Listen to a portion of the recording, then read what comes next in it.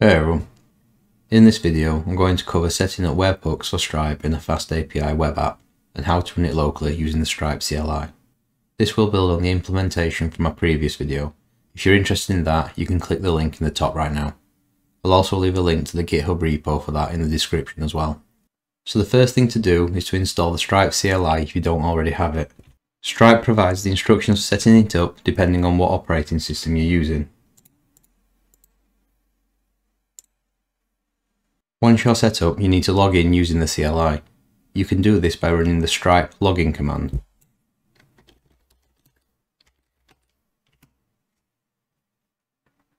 This will output a URL and a pairing code. If you open that URL, you can see the pairing code there and check to make sure it matches. And clicking allow access will finish the authentication which it tells us lasts for 90 days. Now that the CLI is set up, we can use it to forward events to our webhook.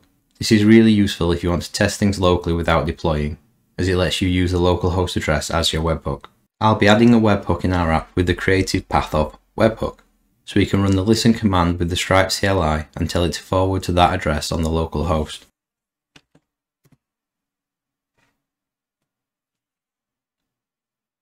This will tell us once it's ready and it will output a webhook secret we can use.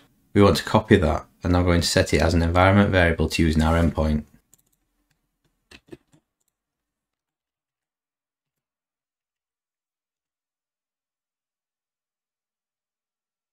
When it's running, if you open the Stripe dashboard, you can see this connection.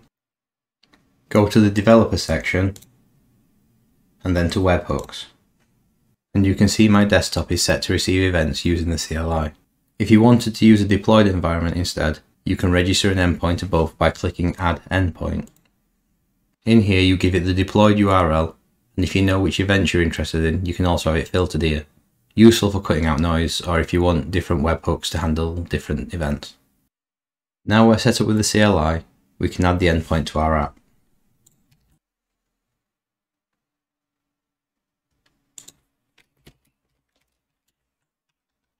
As I mentioned earlier, I've added an endpoint that I've creatively put down as webhook. I'm going to use the request to get the body, and we'll need the Stripe signature from the header to validate the payload. And the first thing we need to do is to retrieve the webhook secret that we got earlier. We also need to update our imports and bring in header from FastAPI.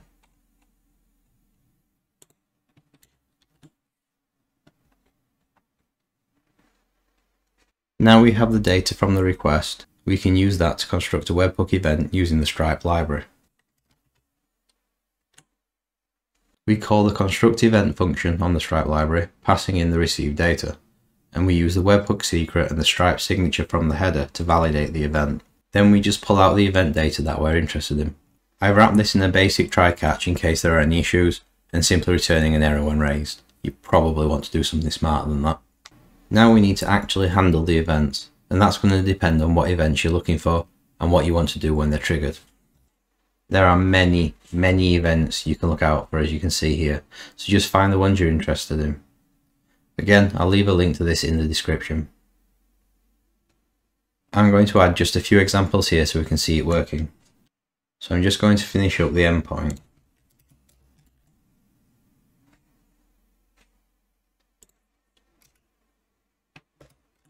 After the try catch, we get the event type from the constructed event.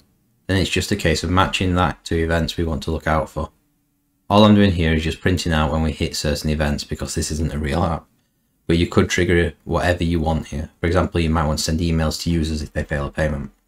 Now we've got an endpoint ready and we have the Stripe CLI forwarding events to our locally running webhook. So if we run the app,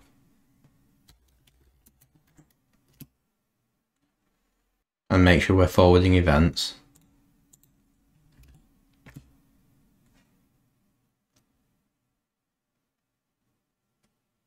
We can trigger some events and see it working. So if I open the web page and click through to subscribe to a product, I can go back to the terminal and see the first event has been registered. We have an unhandled event. In the previous video, I set it up to create a customer before registering a subscription, and here we can see that a customer created event has been raised. This didn't match any of the event types I set up, so it's been printed out as an unhandled event. So if I go back to the web page again and subscribe to a product successfully.